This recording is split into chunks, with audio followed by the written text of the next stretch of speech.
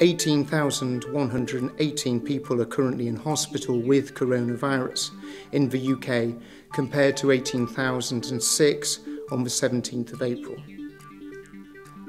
And sadly, of those hospitalised with the virus, 16,060 have now died.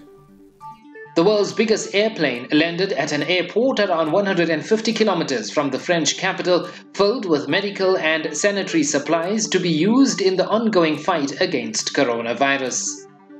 The Great Pyramids were lit up with blue light and projected with a laser message Stay home on the Giza Plateau outside the Egyptian capital of Cairo on the World Heritage Day as the country fights against the spread of the COVID 19.